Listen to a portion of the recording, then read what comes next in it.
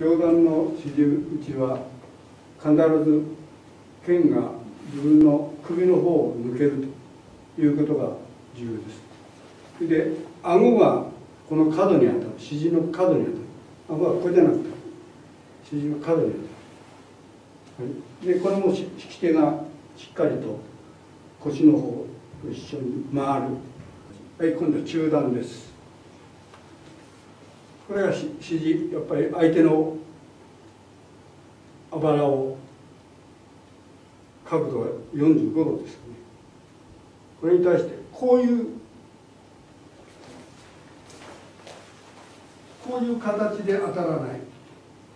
こういう形で当たる。こういう形で当たる。必ず。威力が全然違います。